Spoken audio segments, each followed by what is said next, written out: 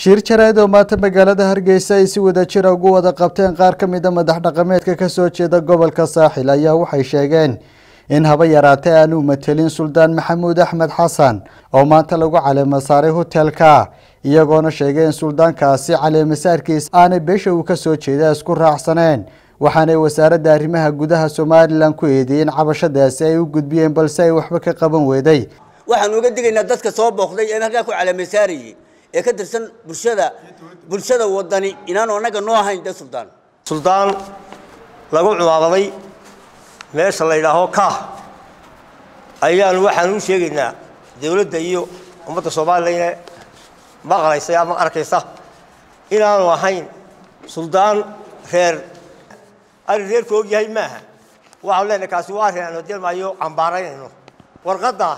haddii alla ka dhigayo wasiirku arrimaha gudaha waa og yahay wasiir ku-xigeenka wuu og yahay arrintaa haddii ma waxaan u aragnaa inaanu wasiirka arrimaha gudaha aanu ka shaqaysiin oo sidii aanu ugu warranay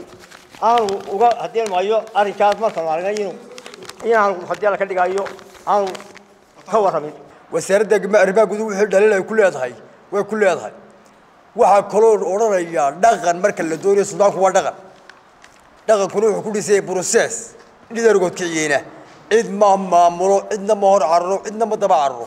waa ninka adla ka dhawaaqay waxaan xaal ka siinayaa bulshada reer somaliland magaca reer kalehi in yaroo unuga mooyaane